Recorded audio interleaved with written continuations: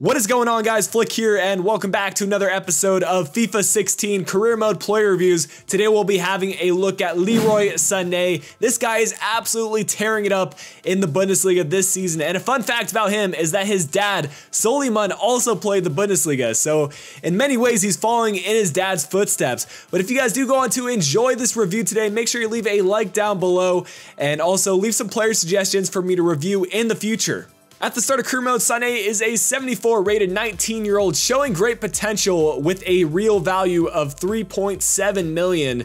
7 million is going to be the enquired price from Schalke, which is not too much uh, considering that is only about double his value and the potential that he can reach. We'll take a look at his player information. You can see he has the versatile ability to play left mid, right mid, or striker. He's left footed, high medium work rates, and has three star weak foot and three star skill moves. Does have the finesse shot trait right from the start and no specialties. Look at his base attributes now, and you can see he's very well rounded in the physical attributes. Already 88 acceleration and 90 sprint speed, which is fantastic for a 74 rated player. His technical attributes aren't too bad either with 77 ball control and 82 dribbling, but we'll jump into the clips and I'll talk a little bit about his pros and cons.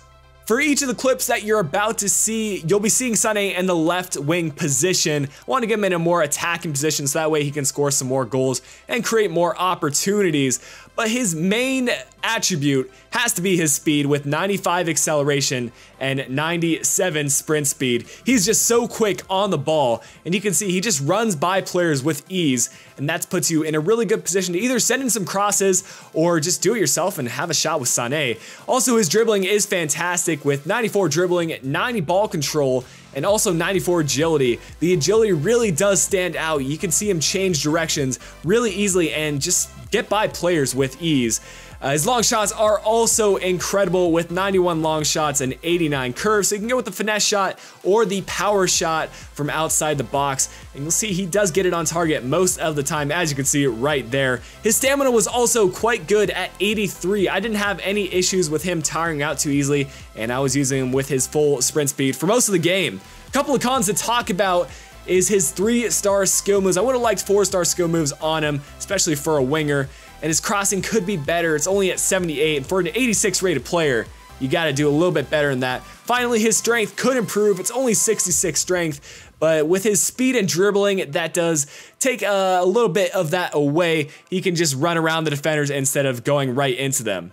At his peak, Sané does reach an 86 overall rating and a value of 29 million. That's a huge increase of 25.3 million from the start of career mode. And he does manage to pick up the speedster, dribbler, distance shooter, and acrobat specialties along the way. And finally, we'll look at his attributes and insane growth for his physical attributes. He's already good to start off with. And look at that agility, plus 16.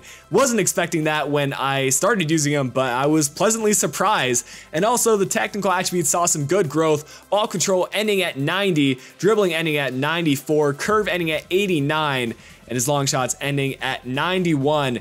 Man, he was a fantastic player to use, and I'm to give him an overall rating of 9.5. If he had those four-star skill moves, I'd probably give him something like a 9.8, but definitely would recommend trying this guy out. He's not too expensive, and I had a lot of fun using him. But guys, that's going to bring an end to the review today. If you did enjoy today's review, make sure to leave a like down below, subscribe if you're new to the channel, and until next time, this has been Flick. I'll be talking to you guys again soon.